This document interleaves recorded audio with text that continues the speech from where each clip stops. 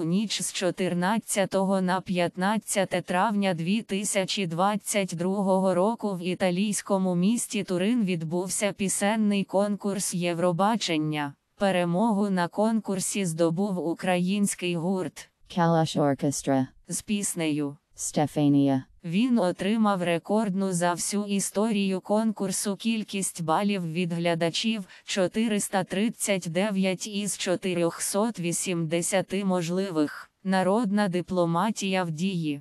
Постскриптум. Як відомо, за умовами конкурсу країна переможця приймає конкурс наступного року. Символічним було б проведення конкурсу Євробачення 2023, наприклад, у польському Жешові або іншому європейському місті, на знак подяки за підтримку у війні з російським нацизмом та символічної відсутності кордонів у об'єднаній Європі. Також гарно виглядає варіант проведення Євробачення 2023 у звільненій від рашистських окупантів українській Ялті.